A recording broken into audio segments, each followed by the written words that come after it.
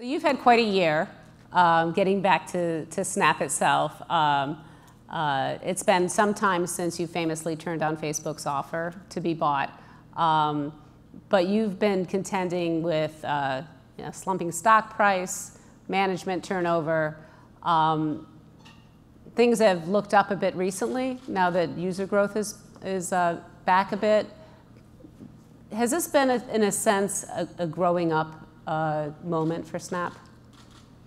Uh, to say the least, yeah. I think, um, I think one of the one of the most interesting uh, things that I think uh, was probably obvious to everyone that runs a, a public company um, has definitely been the need to balance, you know, our long-term goals with the short-term reality of running a public company. And I think, uh, you know, after we went public, we sort of continued to uh, skew the balance